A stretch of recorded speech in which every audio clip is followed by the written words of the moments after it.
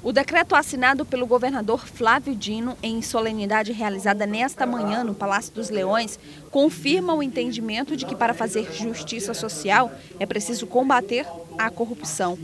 O Maranhão é o sexto estado do país a regulamentar a lei anticorrupção, que estabelece a responsabilização administrativa e civil de empresas pela prática de atos contra a administração pública.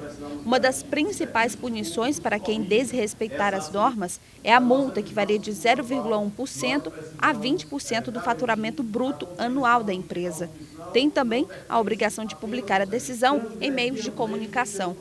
Estudo recente da Confederação Nacional da Indústria mostra que cada um real desviado pela corrupção representa um dano para a economia e para a sociedade de três reais. No Maranhão, segundo o Procurador da República, existem várias empresas fantasmas montadas especificamente para desvios de recursos públicos. Muitas empresas é uma forma eficaz de combate à corrupção.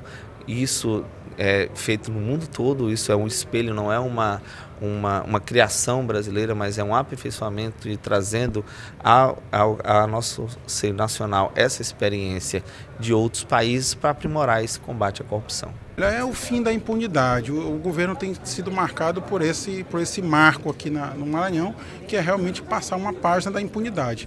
Enquanto vigora a impunidade, vigora o convite para novos atos de corrupção. Quando se acaba com a impunidade, na verdade, se está prevenindo também atos futuros de corrupção.